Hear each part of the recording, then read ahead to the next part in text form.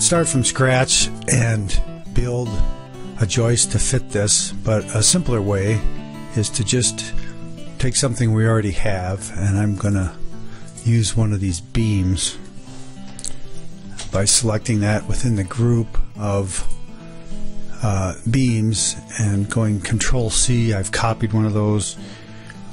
And then I'm just going to go to edit and paste in place I'll take the move tool and bump this beam up so it sits on top of itself. And take the rotate tool pivot around. And by holding down the shift key I'll lock the inference then rotate this beam 90 degrees. Keeping in mind that this is still a beam component but we want to make it a joist. So at this point I'll right click on it and explode it and then right click again and make component and this time we'll just name it a pergola uh, joist and create that. So now it'll act independently of where we started but it has all the attributes of the beams that we were working with. So let's just put this into position. And I've got the move tool here and I'm going to slide this back till it infers on the face of this beam and then slide it out in the green direction and let's go 10 inches. And we'll see if we like that later. It can always be adjusted. Then I'm going to go into the component edit select the geometry on this end by dragging around it take the move tool and then I'm just going to slide along the green axis until this reaches the end of the beam drop it there and then drag it back out making sure I stay in the green direction and going 10 enter. So now our beam or our joist is sticking out 10 inches. And we want to modify the height of this to make it out of a 2x6 instead of the 2x8. To aid in the selection process, I'm going to move this over, let's just go 10 feet.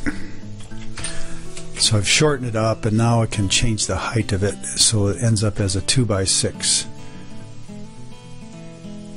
taking the guide tool here, going five and a half inches, and I'm going to select the geometry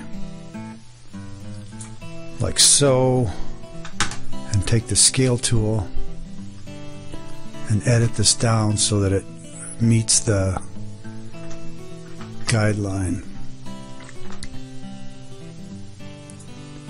Like that. So now we just shrunk that down so that it's a 2 by 6 Those proportions are okay and could be changed later if we don't like it in the end.